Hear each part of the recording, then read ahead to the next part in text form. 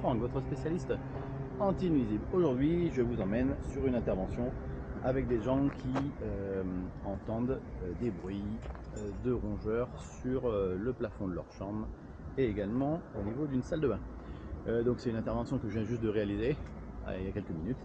Donc on va analyser la situation, on va voir un petit peu quels en sont les dégâts et ben, je vais vous montrer tout simplement comment les rats arrivent eux. Parce que les gens sont dans un lotissement où il y a une quinzaine de maisons et euh, bah, chaque année ils ont des rats, chaque année ils mettent des produits raticides et chaque année ça revient.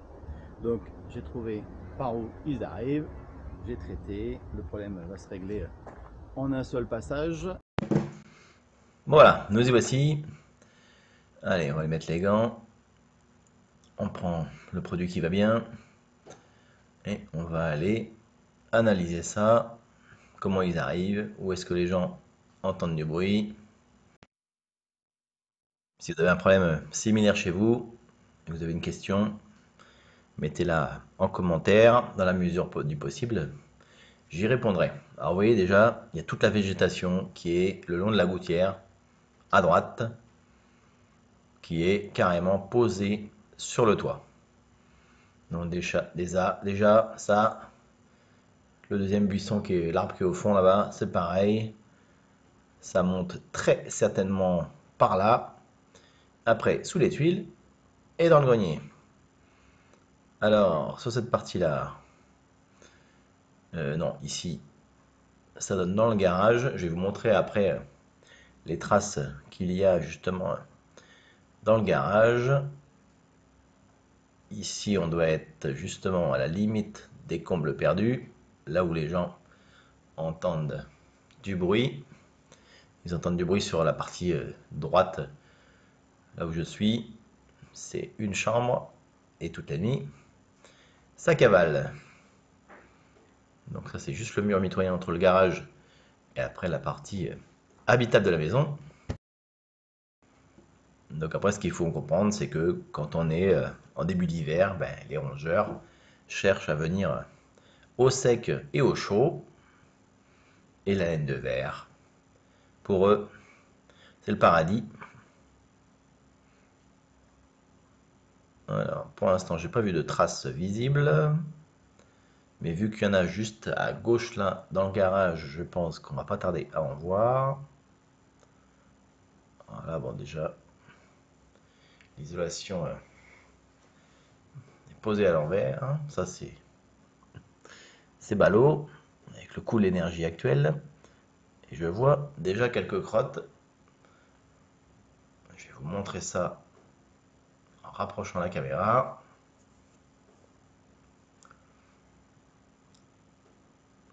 Attendez, je prends la lumière. Je suppose que vous voulez voir un peu plus clair quand même. Voilà elle clignote. Il faut encore que je la recharge. moi j'en ai plusieurs parce que c'est vrai que ça doit se recharger très souvent, ça, tous, les 2-3 rendez-vous. Alors, là il y a quelques crottes sur le placo, sur le BA13. Ça, c'est le plafond de la chambre, la l'isolation. Donc, on va traiter tout ça avec euh, de la pâte fraîche raticide qu'on va, comme d'habitude accrocher avec un fil de fer. J'ai ma bobine hier qui s'est toute défaite en morceaux, du coup ça fait un espèce de damas de fer. Il va falloir que j'en trouve une autre parce que franchement, je vais pas me galérer comme ça à chaque fois. Voilà, on prépare du fil pour faire les petites brochettes. l'avantage, euh, comme j'ai déjà dit dans d'autres vidéos, des brochettes qu'on peut faire comme ça en accrochant le fil de fer, c'est que les rats ne pourront pas emmener le raticide, ils seront obligés de le manger sur place. Donc on va également en mettre comme ça qui pourront emmener. Mais en tout cas, ça, ça permet vraiment de visualiser. Bah, si dans 15 jours, les gens euh, entendaient encore du bruit, à ce moment-là, ils me rappellent, je viendrai voir ce qui a qui a été consommé mais je sais déjà le, résultat parce qu'entre le film que j'ai fait et les gens que j'ai appelés euh, dix jours après pour savoir un peu ce que ça donnait. Je vous dis ça juste après. La conclusion de ce premier passage. Alors je mets toujours un bloc hydrofuge et un peu de pâte fraîche, sachant que les rats vont manger en premier la pâte fraîche. Quand c'est des souris, c'est le contraire, ils mangent le bloc rose. Peut-être parce que les souris préfèrent le rose, je ne sais pas. Comme on dit une souris et un rat. on prépare 3-4 brochettes. On pique les sachets. D'ailleurs, par rapport au produit Raticide, je vous invite à découvrir la vidéo que j'avais fait euh, sur les comparatifs euh, des différentes matières actives. Je vous mets dans les suggestions là-haut euh, le lien parce que bah, effectivement il y a des produits qui sont euh, beaucoup plus forts que d'autres. les produits professionnels, comme on dit toujours, sont bien plus forts que les produits particuliers. Mais même dans les produits particuliers, il y en a qui sont euh, quasiment, je dirais, inutiles, je dirais. J'ai coupé un petit peu court le fer, le morceau de fer avec ma bobine. Je vais essayer d'en trouver un autre plus long.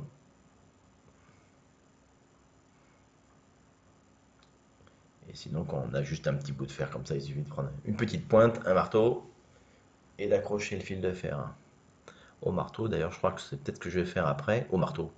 D'accrocher le fil de fer au, clou plutôt. Parce que le marteau, c'est embêtant s'il est dans ma voiture, ça va pas servir à grand chose. Et après, on va aller détuiler à 3-4 endroits différents pour sonder un petit peu tout le toit donc c'est important de savoir que bah, les rongeurs sont très agiles, donc euh, souvent les gens ils comprennent pas qu'ils puissent se retrouver dans le grenier.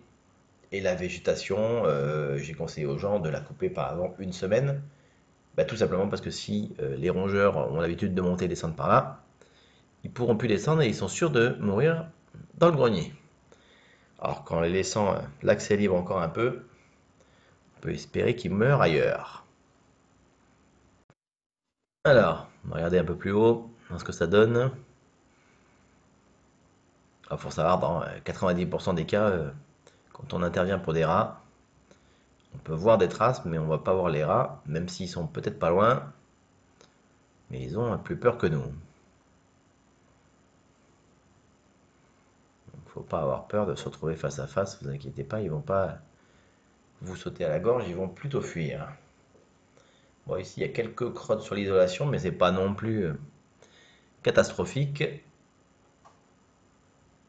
Je pense qu'il y a peut-être euh, un ou deux rats, mais il n'y en a pas non plus euh, une vingtaine qui traînent dans le coin. Parce qu'on trouverait beaucoup plus de traces, il y aurait une odeur qu'il n'y a pas là.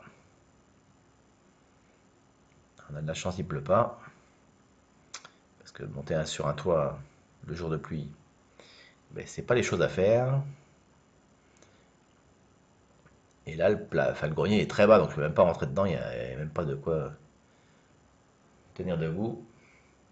Il même pas un mètre de hauteur.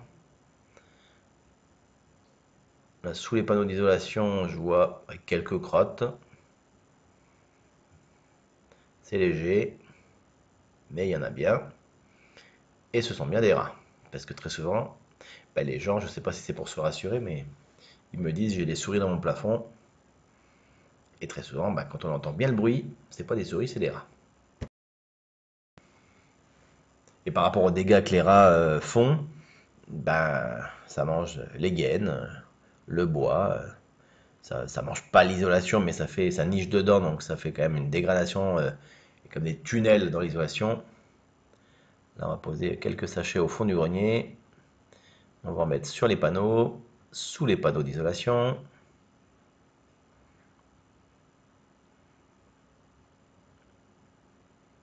le fait d'en mettre plusieurs, c'est évidemment pour augmenter les chances de résultats. On pourrait se limiter à mettre trois sachets, sachant qu'un sachet euh, professionnel, ça tue entre 5 et 7 rats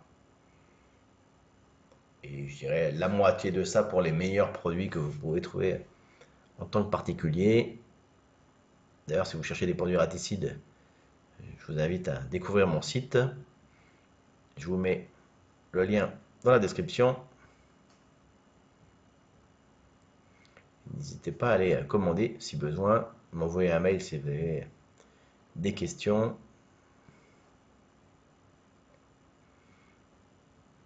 Alors ici, qu'est-ce qu'on a sur l'avant-toit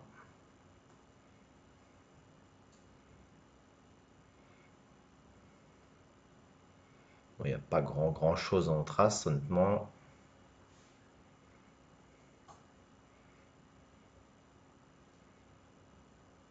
Il y a eu pire comme situation.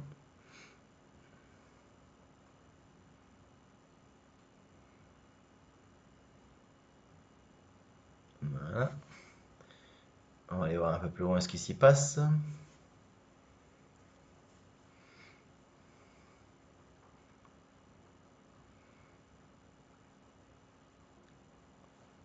Alors, qu'est-ce qu'on a ici? On va prendre la loupiote. toujours pareil, ça va. Je pense qu'à mon avis, n'y a pas plus de 2-3 rats qui traînent dans le coin. Peut-être même qu'un. Et depuis euh, pas très longtemps. Et c'est vrai que les gens chaque hiver, ils ont le même problème. Il faut savoir que les rats sont quand même euh, très intelligents. Et puis, ben, une fois qu'ils sont repérés l'endroit, ils peuvent revenir tout à fait l'année d'après, laisser des odeurs pour retrouver du coup euh, le même chemin. C'est quand même un animal très intelligent. Alors, encore un petit trou ici. Qu'est-ce qu'on a de beau?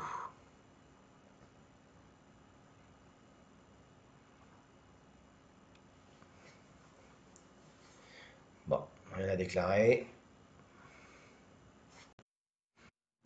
Juste après, on va aller dans le garage. Et voir, je vais vous montrer les crottes de rats. D'ailleurs, les gens étaient étonnés qu'il y ait des crottes à cet endroit-là. Il fallait aller effectivement les chercher. Mais il y en avait bien. Bon, on va mettre, un ou deux sachets dans chaque petite ouverture que j'ai fait. On va aller chercher tout ça. Et on va leur régler leur compte. Alors par rapport à la conclusion que je disais, j'ai rappelé les gens dix jours plus tard et ils m'ont dit que euh, entre l'angle de la chambre et, et, le garage, il y avait une très forte odeur. Et je suis passé voir en passant à côté. J'ai pas, euh, pas trouvé de rat, mais bon, après, euh, c'est assez compliqué de trouver un, rongeur. Il suffit qu'il soit niché dans l'isolation. Il faudrait tout défaire pour pouvoir euh, trouver tout ça. Donc, on les trouve très rarement quand on y retourne. Alors là, on va pas aller contrôler le toit du dessus parce que déjà, il est à plus d'un mètre d'écart avec le toit où on est. Et puis les gens, les, les pièces sont utilisées, ils entendent absolument pas de bruit à cet endroit-là, contrairement à ce grenier. En plus, ici, c'est un grenier qu'on appelle perdu. À côté, ce sont des pièces aménagées, donc c'est-à-dire que le plafond, euh, c'est la pente du toit. On repositionne correctement les tuiles. Ça peut éviter d'avoir une fuite, c'est plutôt pas mal, non?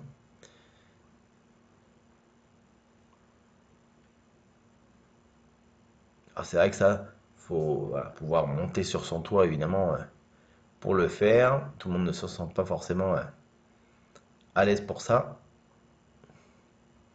Et une fois qu'on a rotulé, je vais aller vous montrer euh, toutes les crottes qu'on a au garage, sur les meubles.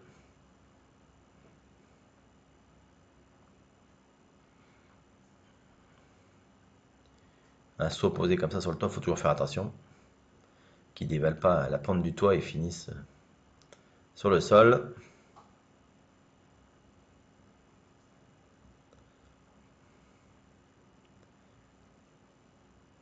Voilà, une petite dizaine de tuiles à, remettre.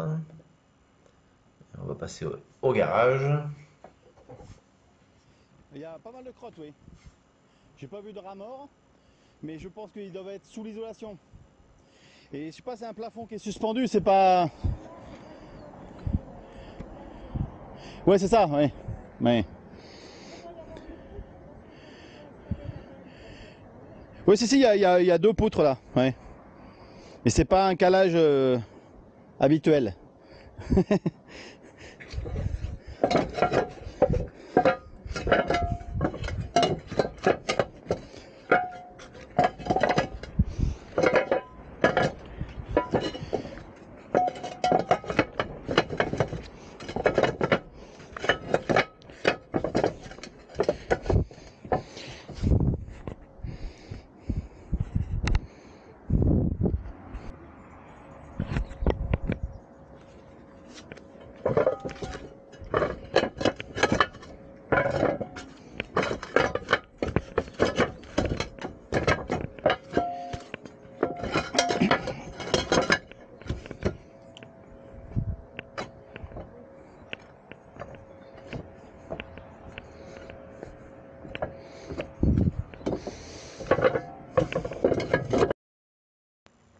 Voilà, la petite brochette que j'ai accrochée ici, bah, je suis sûr que ça, ça va être entamé.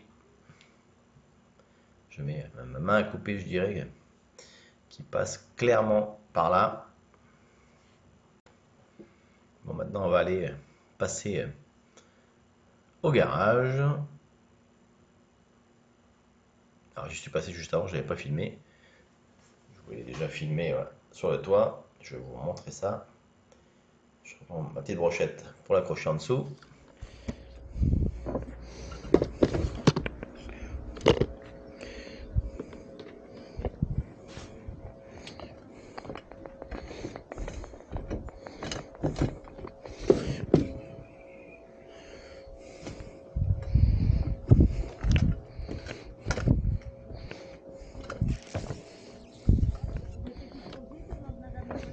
Oui, tout à fait. Oui. Bonjour. Je mets des produits raticides voilà, qui, les dessèchent. Alors ça peut arriver que ça sente, mais ça sent moins que s'il meurt de sa belle mort, je dirais. Euh, et les produits professionnels, ils sont euh, 20 fois plus forts que ce que vous trouvez dans le commerce. Un sachet bleu, là, je vous montrer après, ça tue entre 5 et 7 rats. Alors que dans le... Je pense pas, non. Franchement, il y a des crottes, mais c'est pas non plus... Euh... Ça n'est pas rempli. Ouais. Ouais. Par contre, quand j'ai soulevé euh, l'isolation, voilà, on voit bien que ça passe beaucoup plus en dessous que dessus. Parce que l'isolation, elle est comme ça sur les poutres. Donc euh, il passe en dessous et après, bah, vous les entendez bien parce que c'est le plafond. C'est ça, ouais. J'ai trouvé ça sur le toit. Ah.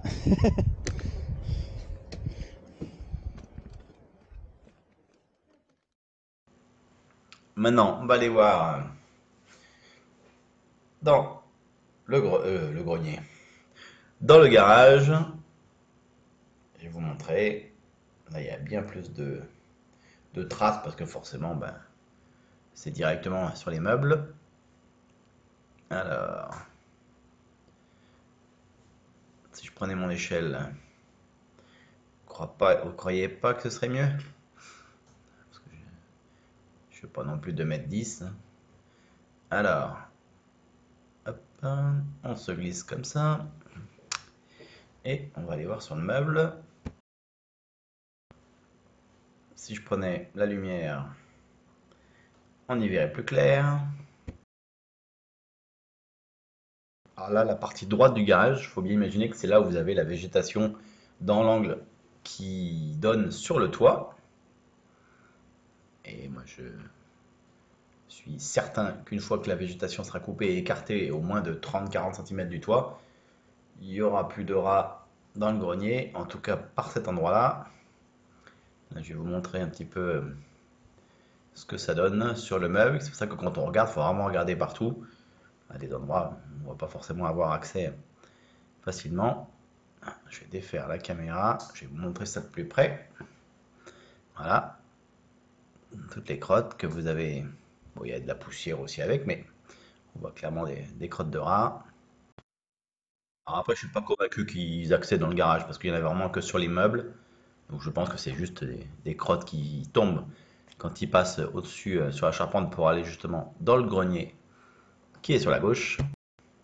Donc vraiment, si vous avez des rats chez vous, il faut vraiment analyser où est-ce que vous entendez des bruits. Et euh, là, faut, bah, les crottes, euh, les gens en l'occurrence, les avaient pas vues, donc il faut vraiment chercher les endroits où on voit des traces de passage, mettre ce qu'il faut, principalement, comme je dis toujours, attacher au moins avec un fil de fer.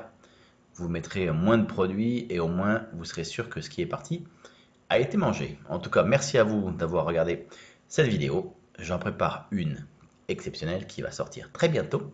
Allez, je vous dis ciao